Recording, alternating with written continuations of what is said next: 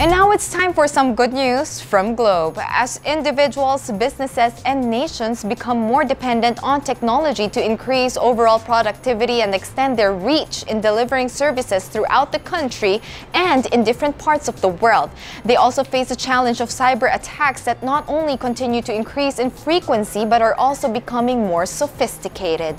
This challenge we are currently facing has prompted Globe Business, the enterprise information and communications technology arm of Globe, to take a more proactive stance.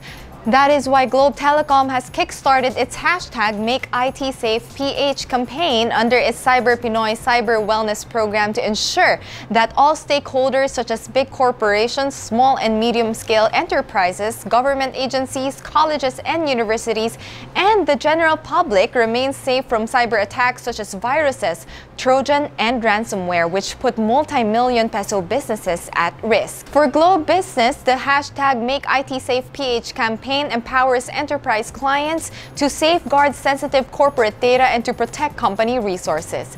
How does it help companies uh, with uh, their their threats, right? So one of the things that we've been doing is really drive awareness to our corporate clients. Uh, a lot of companies here in the Philippines don't even know what their posture is when it comes to cybersecurity and it's very critical that they know, especially in their respective industries, uh, what the global standards are in terms of cybersecurity.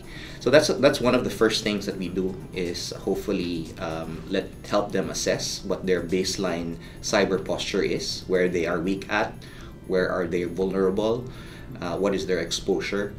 Uh, once that is set, then we uh, show them how to protect their, their network given all these exposure. Um, this involves also a very stringent uh, framework. We call it a cybersecurity framework, wherein it helps corporations identify what the risks are. Then, once you identify, to, show them how to protect it. Once you protect uh, the network, is now how to detect a, a threat.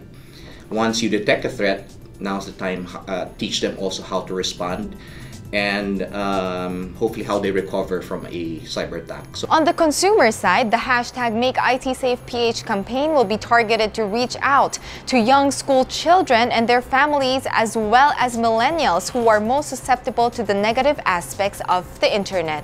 Globe is also working with schools and teachers on the adoption of the Digital Thumbprint Program or the DTP that teaches students online safety and responsibility as well as make them understand the impact of their online behavior through workshops.